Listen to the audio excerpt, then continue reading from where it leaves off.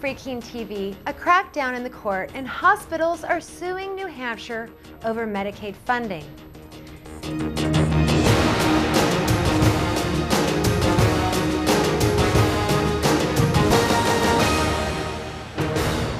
Hello and welcome to Free Keene TV.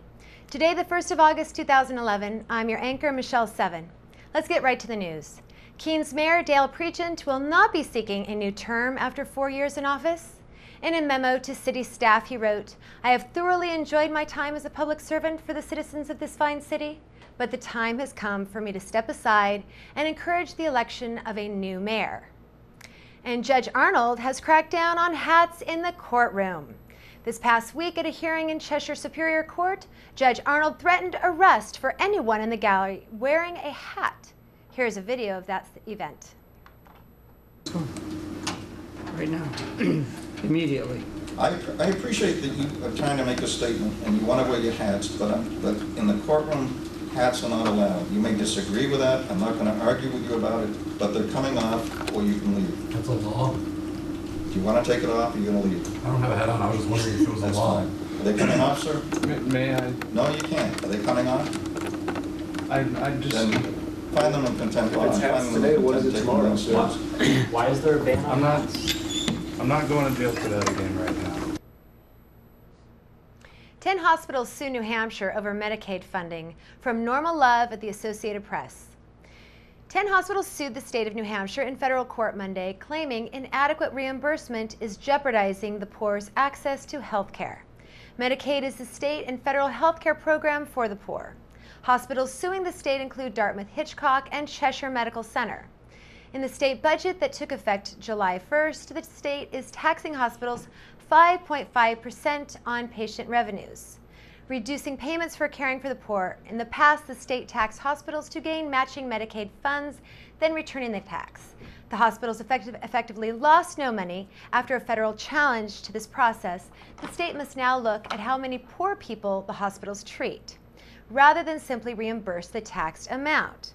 The budget cuts 115 million over 2 years from a fund that makes payments for poor patients. The lawsuit filed in US District Court claims the state is in violation of the Federal Medicare Act by providing insufficient payment to the hospitals and doctors. The lawsuit goes on to say that several hospitals are intending or considering the prospect of not accepting new Medicaid patients. Others are considering ending Medicaid contracts between their doctor and the state. The hospitals estimate they will be taxed $250 million over the two year budget. For some discussion on this topic, we are joined by Lance Weber, Heike Corser, and special guest Ademo Freeman. Hi. Thank you, Michele. Um, So Medicare and Medicaid, right? well, that sounds like business as usual to me. War on the poor. Exactly. I think the uh, problems here isn't exactly the hospitals, but the uh, individuals who are attempting to pay. I mean, this is a direct result of service where your customer is only one person. Instead, millions of people here are going to be affected by the government doling out the paychecks for them. And instead, they could just give their money, their tax money, right to the hospitals and not be taxed at all, in my opinion. I agree with that. I'd like to talk about the situation with hats in court a little bit. So, uh, Ademo, you were there in court that day, right? I was, yeah. Why don't you tell us briefly what happened? Well, Judge Arnold uh, basically came out and said, "Hey, uh, this is my courtroom, and I'm going to run it how I want to." And you know, I don't know what the big deal is. The hats don't ever disrupt anybody. No one's out of order. It's always the bailiffs or the robed man who takes this into account, but uh, and, and makes it an issue. So when he's asking people and threatening them with jail time, I mean, I think we really have to stop and ask ourselves: Do we want the you know county jail, the police force, sheriff's department to waste their time, energy, and resource for people wearing hats? I mean, this is a peaceful act. Uh, it's not bothering anybody.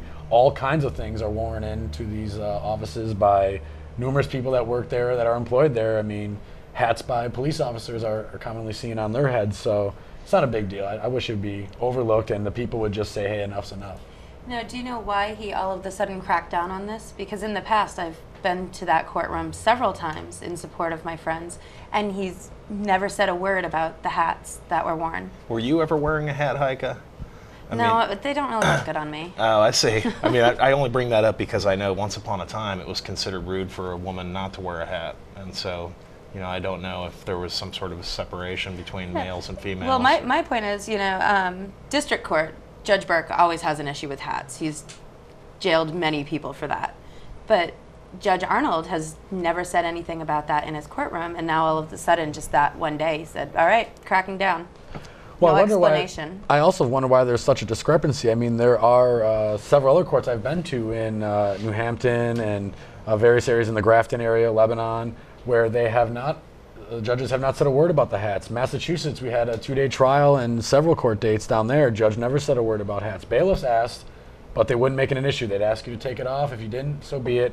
And nobody wasted any more time, energy, or, or thought on it after that. And I think that's how it should be. You know, to me, it's an article of clothing, and asking someone to remove an article of clothing is disrespectful, whether it's a hat or uh, your pants. I agree.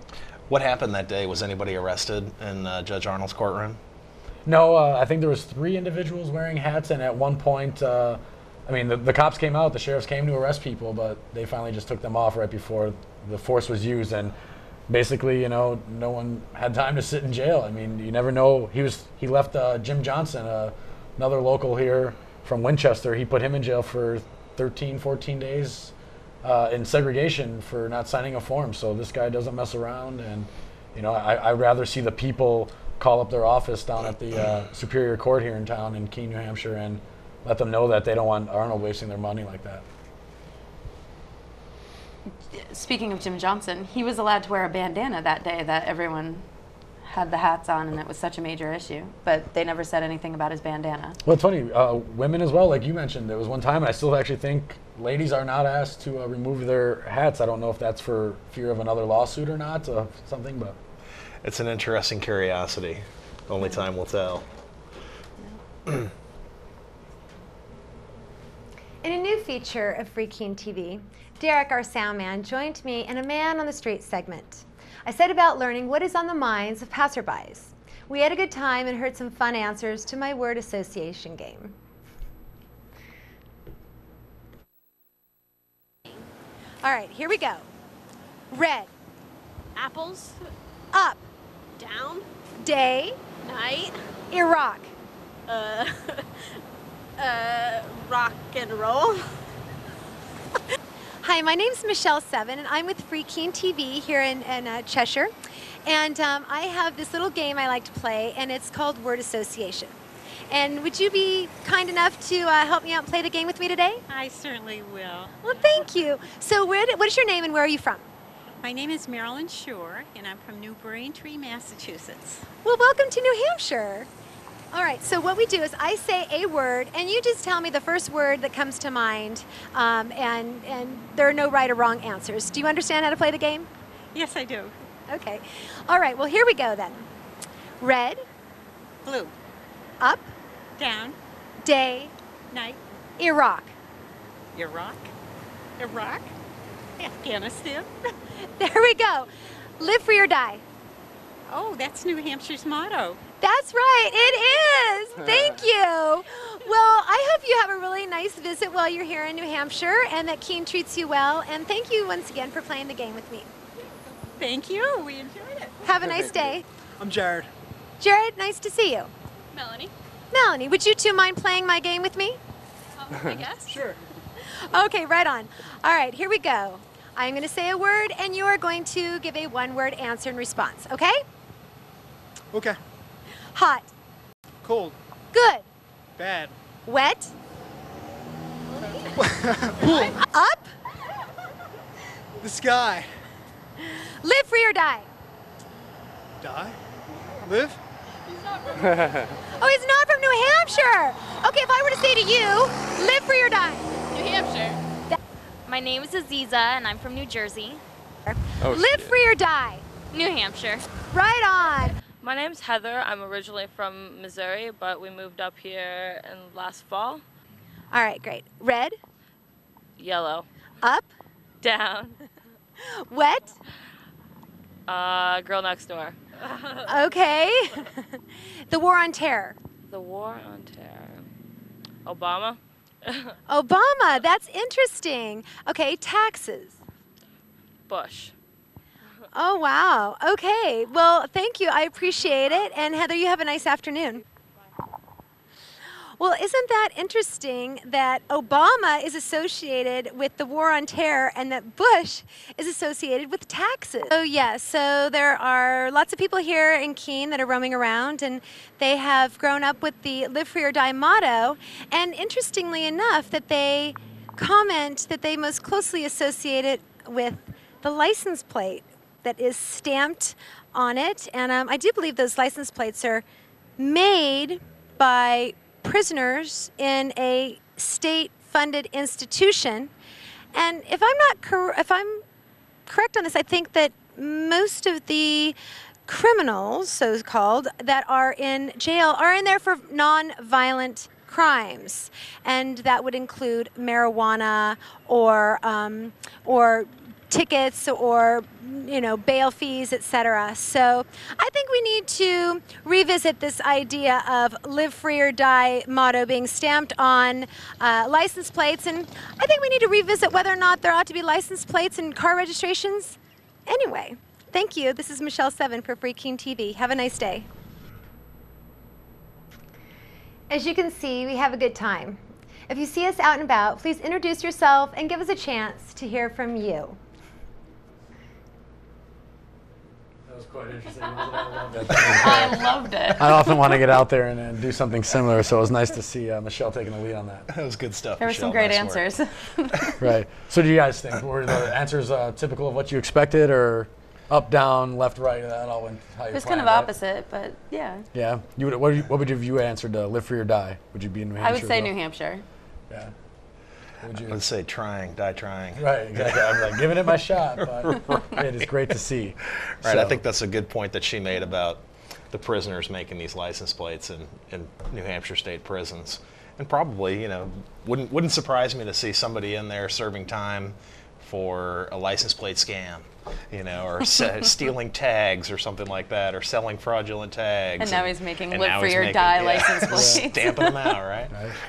I kind of wonder why the woman uh, associated Obama with terror. I mean, is it is it because of the, you know, constant fear mongering, or what would relate that uh, growth of the Yeah, that was war? That was a pretty interesting uh, Right. response that she gave. And then Bush's taxes, but that's kind of obvious. That's right? obvious. Right.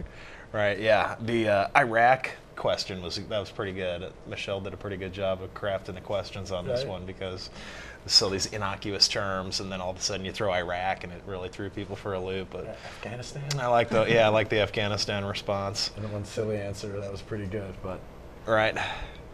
so uh, let's see. We have the uh, court news we can go into. Yes, we have some court news. Thanks to Casey Farrar at the Keene Sentinel. It looks like seven people were uh, recently indicted or are currently on the court's docket for a handful of charges. Five out of the seven are uh, in there for drug charges. And how many people listed the jail as their current address Well, already? That's an interesting point. There are four of them in here who are listing their current address as the a some sort of correction facility within the state. So that goes to tell you that these people, you know, uh, victims, individuals who are being uh, harmed by the system or the war on drugs, are before they even get a chance to establish a new address, are being sent back to the place uh, they came from for the same incidents. You know, and it just goes to highlight what the uh, highlight what the war on drugs is doing to individuals' lives. How many of these were victimless crimes? Uh, all of those that we listed. I mean, I don't. There is not a single uh, report in this week's court documents that say uh, court listings that where I see of anyone having a victim. I know we do have the uh, tragic murder that happened last week, but that is also uh, could be related to the war on drugs. You know, if people were allowed to provide a good, a good and/or service to individuals in the community, you wouldn't have this violence that comes associated uh, with the war on drugs or, or drug trade as it is now, uh, when people could do their business uh, freely and voluntarily in, in places. You know, I go to Starbucks. I, I think some of us have visited there, and they never front me my coffee or uh, do me wrong. So uh, whenever I go there and get my coffee, I pay. And uh, if, if I ever rip them off or they rip me off, there's uh, disputes. We, we had on the lap before. Violence is needed because we all know what's best. God bless Starbucks for doing business in an honorable manner. in a peaceful manner. well, I mean, look at some of these guys. You have uh, 60, 21, 53. I mean, it's not a young person's Right. uh, a problem. I mean, this is a society problem, you know? I mean, what would you think of some of the solutions would be, Heike, to the crowding in the jail and the war on drugs? I don't think there should be overcrowding in the jail because if there is no victim to anything, then there should be no crime. So, I mean, if someone wants to smoke some pot, so be it. Your They answer shouldn't- is not to just build more jails, No, absolutely not. more housing. You know me better. What would than you like to see? Like some of the, what do you think some of the leaders out there of the uh, Keene government, the councilmen and stuff, what steps do you think they could take? Um, start putting in for legalizing, at least start with marijuana.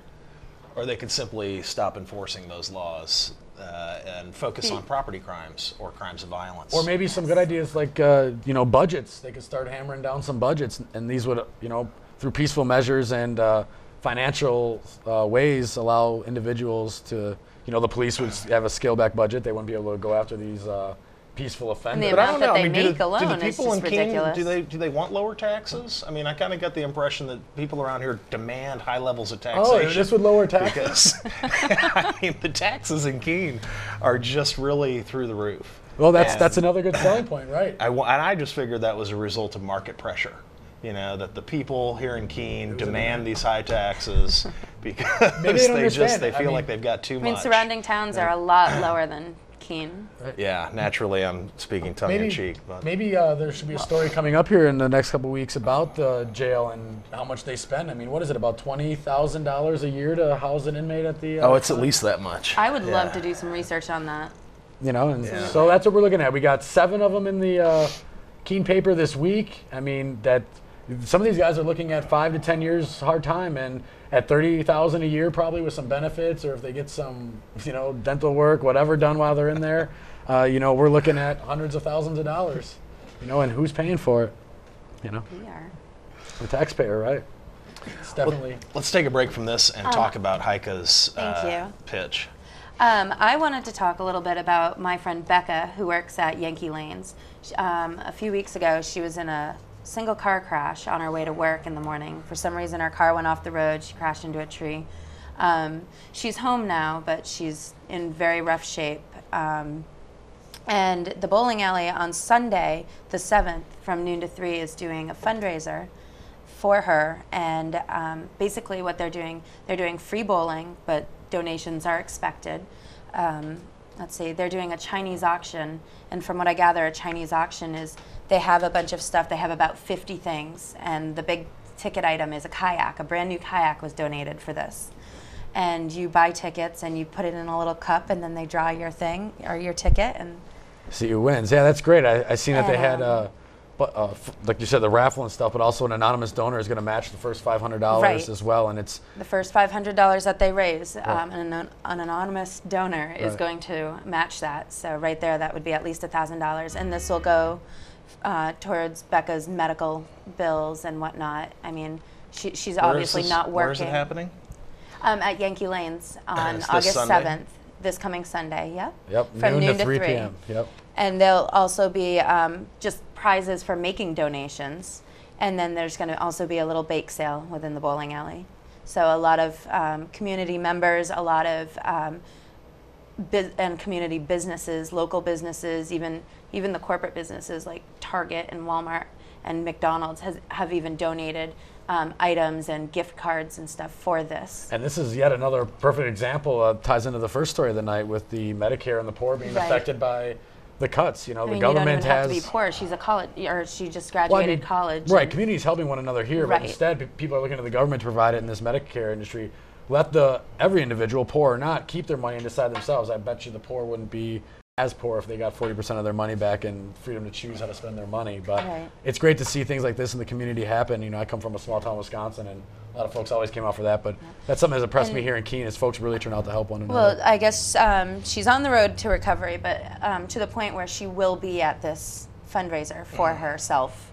So that Right. that will be exciting to see her and urge her to keep up with the physical therapy and speedy Yep. recovery. So head on down the Yankee Lanes this Sunday, noon to three. Uh, bowling. All the proceeds go over to uh, help Becca. So head on down there and check it out.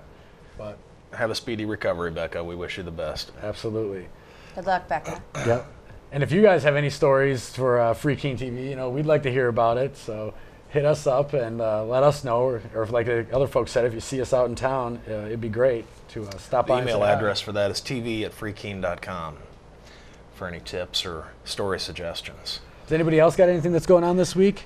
I'd like to talk about the uh, police extravaganza going on at Target. Oh Or no! where is the this one at the happening? police station? I heard. It's There's at the a- police station. What happened? It's a night out with the police where they're putting on some demonstrations. It's going to be this is- happening tomorrow. No way. This is being paid for with uh, private money from from Target. Is that right? Yeah, so that's that's probably the only upside I see Mhm, really about this situation. But So we're not paying for it. yeah, private uh, businesses have put together for this. I just read about this actually the other day, and uh, some of the uh, uh, outdoor crew, I guess you'd call them, for here at Free Keene TV are going to attend it tomorrow. But um, the on-scene guys. so what does this so this is happening uh, this tomorrow, is new to me. Tuesday, August second. Yeah, from 5:30 to 8:30, head on down to the uh, Keene Police Department. They'll have a little fun thing for your children to bounce around and interacting with the cops. But I, I'm going down there to kind of let people know about the other side of the coin. You know, Keene Police have you know used force in other occasions, and I'm not sure they're the exact. What do they hope to accomplish with this? Like making children not scared of them or something? Yeah, the, in the paper said that their, their goal is to interact with folks who don't interact with police as often. So, you know, I don't know. I see it as a pitch to be we're the good guys, but again, you know, I do think police officers mean well and they want to do good in the community, but we just need to change the way policing is funded. basically our employers or our employees, excuse me. Um, you know, they're there to protect and to serve us, and that's that. We're not. They're, They're, not our, they're Well, they're not public being servants, paid for yeah, this they're at all public servants. now. They're not our. They're not our friends. They're not. Oh yeah, let's let's go hang out. They're public servants No, who exactly. have the authority to Well, I'd arrest, I'd, you and put I would personally love to hang out with any of them. They want to hang out and get a cup of coffee and talk about anything. But uh, I just think Not I. think putting on the image of that we're here to protect you and we're safe and you can always come and trust a police officer isn't the right thing to do with your children because police officers, just like any other stranger, can do bad or harm to one another.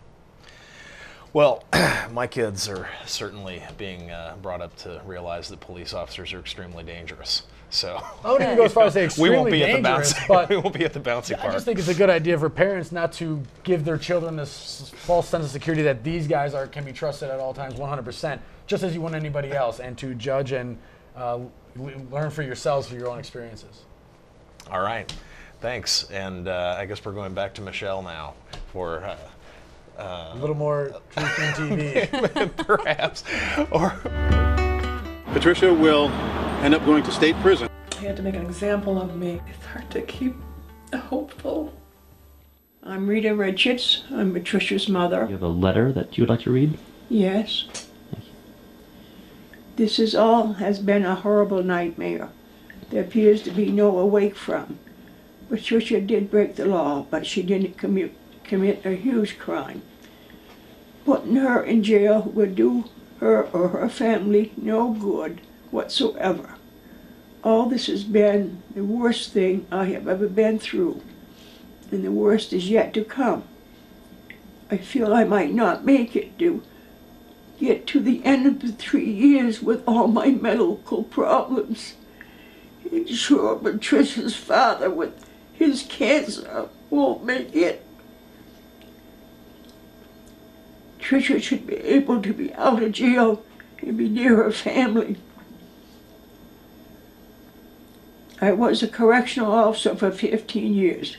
I've been through some of the justice system, but this is one that holds no consideration for anyone. What was the judge's response to these letters? I don't even know whether he read them. Uh, tell us about some of those letters. Who wrote letters? What did they say? How good Patricia has been, never had did any crime. in the family, how much we loved her and how she's needed and what a good nurse she is. So, do you consider what uh, Patricia did to be a bad thing? No, not what she was doing. She's only growing it for herself, anyways. Now, uh, in order for there to be a crime, there needs to be a victim, right? And do you know of anybody that uh, your daughter has uh, victimized? No. And so, why do you think that the uh, the state of New Hampshire is uh, going to put her in a cage for years? She, uh, she broke the law. I don't know.